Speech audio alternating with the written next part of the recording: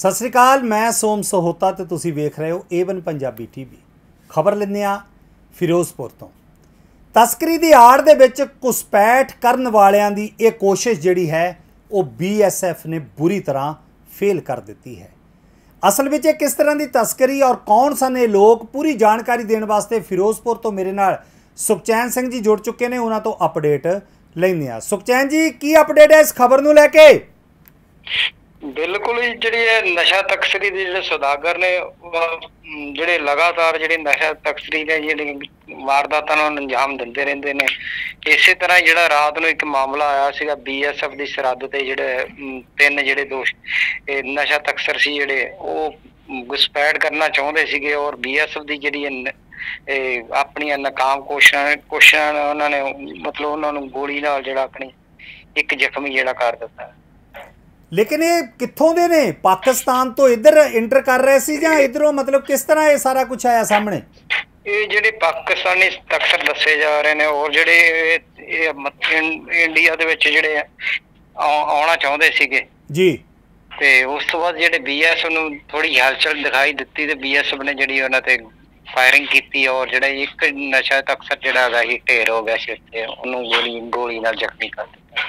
ਔਰ ਬਾਕੀ ਦੇ ਜਿਹੜੇ ਤਿੰਨ ਸੀਗੇ ਦੱਸ ਰਹੇ ਤੁਸੀਂ ਬਾਕੀ ਦੇ ਦੋ ਕਿੱਥੇ ਨੇ? ਜਿਹੜੀ ਮਿਲੀ ਜਾਣਕਾਰੀ ਦੇ ਮੁਤਾਬਕ ਜਿਹੜੇ ਦੋ ਦੱਸੇ ਜਾ ਰਹੇ ਨੇ ਜਿਹੜੇ ਦੋ ਵੀ ਉਹ ਵੀ ਪਾਕਿਸਤਾਨੀ ਸੀਗੇ ਔਰ ਦੋ ਜਿਹੜੇ ਭੱਜਣ 'ਚ ਸਫਲ ਹੋ ਗਏ। ਮਤਲਬ ਇੱਕ ਪੁਲਿਸ ਦੇ ਅੜਿੱਕੇ ਆਇਆ ਨਹੀਂ ਬੀਐਸਐਫ ਨੇ ਅੜਿੱਕੇ ਲਿਆ ਜੀ ਇੱਕ ਲੈ ਲਿਆ ਸੀ ਅੜਿੱਕੇ ਔਰ ਬੀਐਸਐਫ ਨੇ ਜਿਹੜਾ ਉਹਨਾਂ ਨੂੰ ਜਿਹੜੀ ਬਣਦੀ ਕਾਰਵਾਈ ਪੁਲਿਸ ਦੇ ਹਵਾਲੇ ਕਰ ਦਿੱਤੀ। ਸੁਖਚੈਨ ਜੀ ਜਿਹੜਾ ਜ਼ਖਮੀ ਹੈ ਉਹ ਬੀਐਸਐਫ ਦੇ ਕਬਜ਼ੇ ਵਿੱਚ ਹੈ?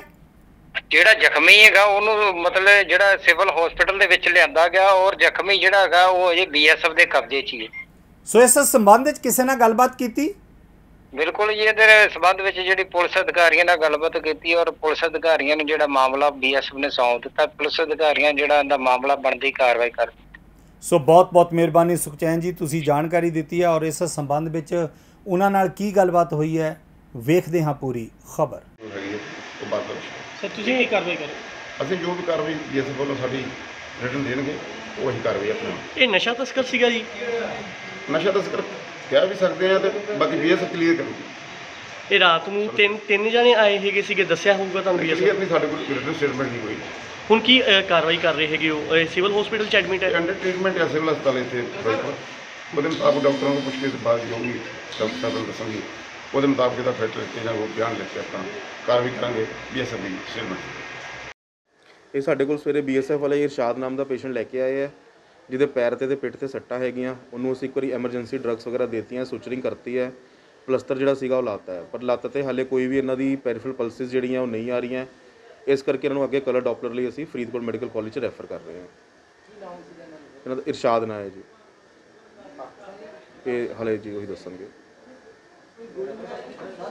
ਗੋਲੀ ਵਗੈਰਾ ਤਾਂ ਹਲੇ ਸਾਡੇ ਕੋਈ ਐਕਸ-ਰੇ ਨਹੀਂ ਹੋਏ ਹੈ ਜਿਹੜੇ ਵੂਨਸ ਹੈਗੇ ਉਹਨਾਂ ਦੇ ਐਕਸ-ਰੇ ਕਰਾਉਣ ਤੋਂ ਬਾਅਦ ਹੀ ਉਹ ਕਲੀਅਰ ਹੋਊਗਾ ਕੋਈ ਫੋਰਨ ਬੋਡੀ ਹੈ ਜਾਂ ਨਹੀਂ ਹੈ। Doctor Nikhil Gupta orthopaedician civil hospital AC ਹੁਣ ਤੱਕ ਦੀ ਅਪਡੇਟ ਨਵੀਆਂ ਤੇ ਤਾਜ਼ਾ ਖਬਰਾਂ ਲਈ ਜੁੜੇ ਰਹੋ ਏਵਨ ਪੰਜਾਬੀ ਟੀਵੀ ਦੇ ਨਾਲ।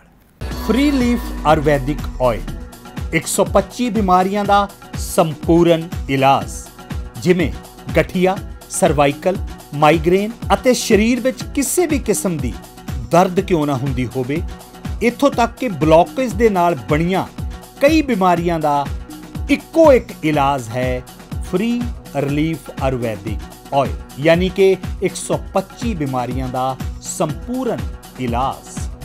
ਫ੍ਰੀ ਰਿਲੀਫ ਵਿਜ਼ੀਲੈਕਸ weight lose ਮੋਟਾਪੇ ਤੋਂ ਪਰੇਸ਼ਾਨ ਹੋਣ ਦੀ ਜ਼ਰੂਰਤ ਨਹੀਂ।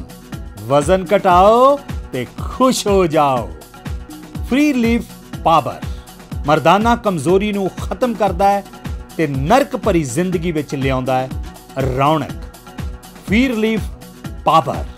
ਕਬਜ਼ ਤੋਂ ਪਰੇਸ਼ਾਨ ਹੋਣ ਦੀ ਹੁਣ ਜ਼ਰੂਰਤ ਨਹੀਂ ਹੈ। ਕਬਜ਼ ਤੋਂ ਛੁਟਕਾਰਾ ਪਾਉਣ ਲਈ ਆ ਗਿਆ। ਕਬਜ਼ ਹਰ ਚੂਰਨ। ਕਬਜ਼ ਹਰ ਚੂਰਨ ਨੂੰ ਅਪਣਾਓ ਤੇ ਕਬਜ਼ ਤੋਂ ਛੁਟਕਾਰਾ ਪਾਓ। ਹੁਣ ਤੱਕ ਲੱਖਾਂ ਮਰੀਜ਼ ਲੈ ਚੁੱਕੇ ਨੇ ਫਾਇਦਾ।